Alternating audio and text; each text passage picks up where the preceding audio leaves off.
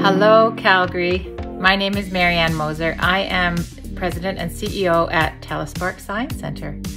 And I want to thank Brent Allison of Longview for nominating Spark for the Three Things for Neighbors Challenge. Simple acts of kindness during the times of COVID. The Science Center has been closed for four months since last March to July and we closed again in December and have been closed since. But it feels like we are actually busier than ever. We're down to a skeleton staff and we are doing things for neighbors with neighbors. First of all, with support from Crescent Point and TELUS, our name sponsor, we adapted programs to get online almost 2020, we saw 60,000 people alone online engaging in programs. Now, by contrast, in person, we saw just over 50,000 in 2020. That's with social distancing and masking for those few months that we were open. So, uh, boom. Barriers of cost and geography were eliminated by going online.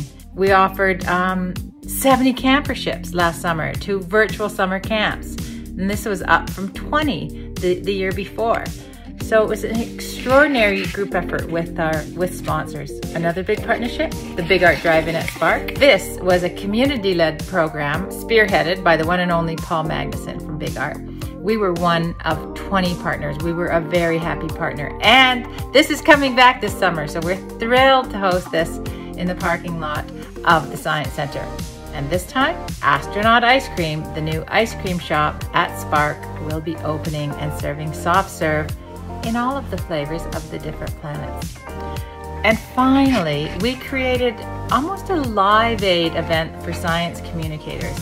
Science communicators are those professionals who have dedicated their lives to opening up doors and windows into the world of science for non scientists. It was incredible we partnered up with people from National Geographic, Stanford, Discovery Channel, Scientific American, just the best of the best practitioners in the world of science communications and offered this for free. People signed up from all around the planet Brazil, Berlin, Trinidad, Norway, and it was extraordinary.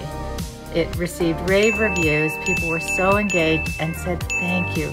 Nothing is more important right now than communicating science effectively. We did this for and with our neighbors all around the world. We all share this planet that we call home.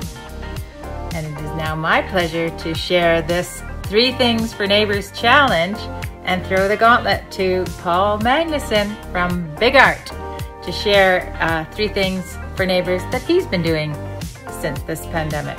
Over to you, Paul.